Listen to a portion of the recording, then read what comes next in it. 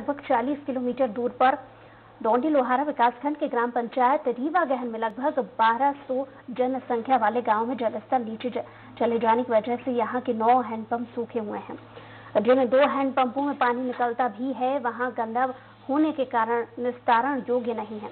महज ही ये सहज अंदाज़ा लगाया जा सकता है कि जल का स्तर कितना नीचे चला गया होगा? और यहाँ के ग्रामीण पेयजल के लिए दिन रात जागकर घंटों लाइन लगाकर पानी भरने का इंतज़ार करते हैं। और उन्हें किलोमीटर दूर से खेतों में लगे बोर से पानी लाने जाना पड़ता है। कई गाँव में तो लोग पानी खरीद कर इस्तेमाल करने के लिए मजबूर हैं।